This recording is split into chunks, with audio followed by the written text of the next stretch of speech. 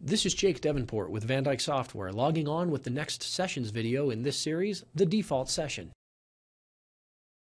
In the previous video segment, you learned about both ad hoc and saved session connections. In this video, you'll learn where default settings come from.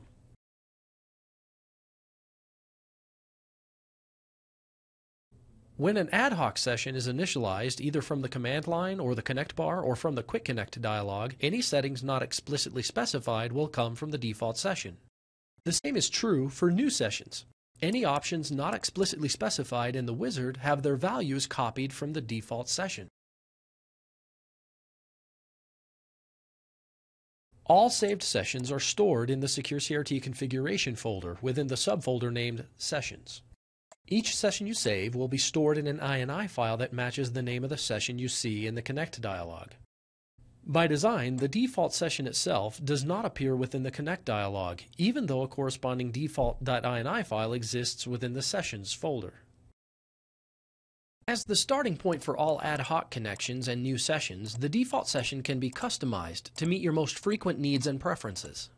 For example, SSH2 is the default protocol, However, a network administrator primarily responsible for configuring new switches or routers through a serial console connection may want to set the default protocol to serial, since that is what would be used most of the time. The same is true for other preferences like the desired color scheme, font, terminal emulation, size, and so on. As I mentioned earlier, the default session does not appear within the Connect dialog. To change default settings, open Global Options, browse to the General Default Session category, and press the Edit Default Settings button. Make changes to the settings you want to be standard for all ad hoc connections and new sessions, then press the OK button.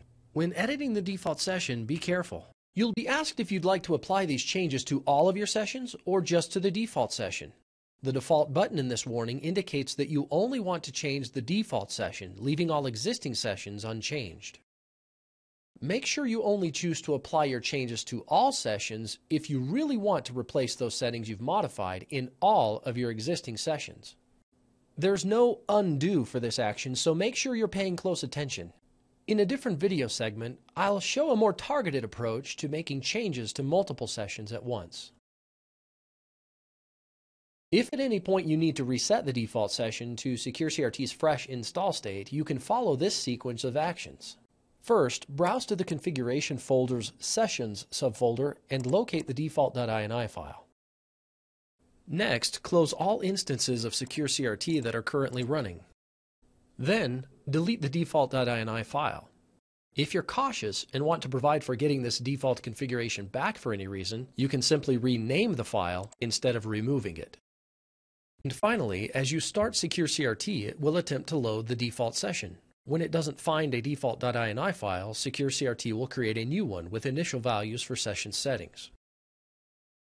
The next video in this series explains how to modify session options for existing sessions and how to use the organization and management tools provided by SecureCRT's Connect dialog.